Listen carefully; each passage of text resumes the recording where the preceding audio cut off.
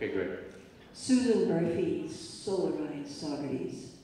I just want to take advantage of having all these wonderful people here in this, in this hall tonight to make sure that everybody knows about our campaign.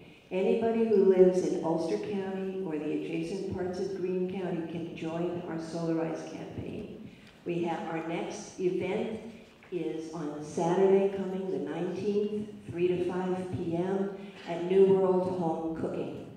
And Ric Orlando is contributing some of his wonderful goodies for us to, to have at our event. We have three solar installers that we have very, very carefully chosen. Uh, and we want everybody who possibly can to come to see about solarizing their home and their business. And when you get, and, and in, in the window of Smith Hardware on Main Street, there's a display that's going to be up for two weeks that gives you the other dates. There's also a couple of flyers out on a table, on the, um, the. uh, For Solarize Saugerties? For Solarize The Saugerties. Solarize campaigns are all over New York, yes, Yes, they're are. wonderful, and And thank you so is our much for bringing that up. Thank you very much. Thank you. If I can just interject, uh, if we can just have two more questions, please. So let's not, if it's, is it a question? Yeah. Okay. Questions only, please. Thank you. Brief, brief question. Um, one basic thing, why do we use uh, fuel, energy to meet our emotional needs? Tonight, my emotional needs are more than met by your moral imagination, the power of your moral imagination.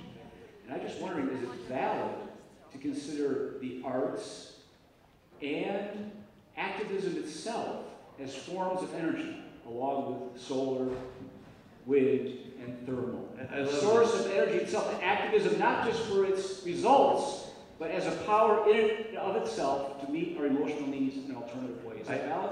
I love that idea, and I, and I, I totally agree. Can I ask the Earth Guardians what your opinion about that question is?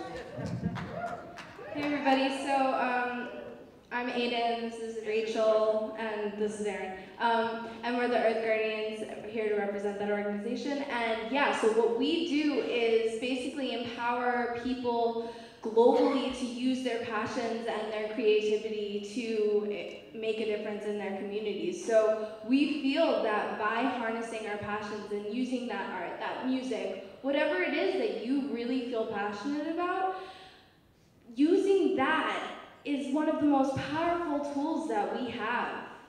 Like, yes, we can harness the energy of the sun and we can harness the energy of the wind, but we can harness our own personal energy inside of us. So, what Earth Guardians is trying to do is activate a generation of young people who are using their passions to actually raise awareness and create that positive ripple because we're all energy. We're all putting out energy all the time, so it just depends on what type of energy we want to put out.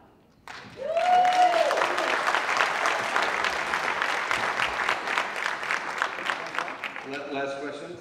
Hey, thank you. Just wanted to say, first of all, thank you so much for the incredible film and bringing a humanistic side to this story that a lot of people haven't seen before. And this is probably the last question we should not be asking right now, but what are your thoughts on zero point energy and this entire other conversation that doesn't really get explored in this Nik- Nicholas Tesla theories and the idea that there's energy all around us every day and it's not ever being talked about? And I'm just curious if you looked into that and if it's something you talked about at all? I haven't really. Um, you know, I, I don't know much about the whole uh, Nikola Tesla, the history. I, I haven't looked into it. Um, what I do know, though, is that we have viable forms of renewable energy that are everywhere, um, and that there are new ones that are coming about every day. And one of the principles I think that we have to advocate for is innovation. Um, and you know, at the same time, I think a lot of people uh, think, oh, solar energy and wind power, and oh, that's far away. You know, when we're going to beam ourselves to the moon, you know, drive Buicks to the moon and whatever. You know, like that's in the future. People don't think that way anymore. People know that renewable energy is now.